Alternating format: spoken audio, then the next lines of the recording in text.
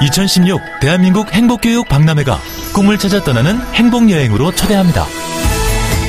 전국 765개 교육기관이 함께 학생, 교사, 학부모가 직접 체험할 수 있는 6대 교육개혁 축제의 장을 열어드립니다.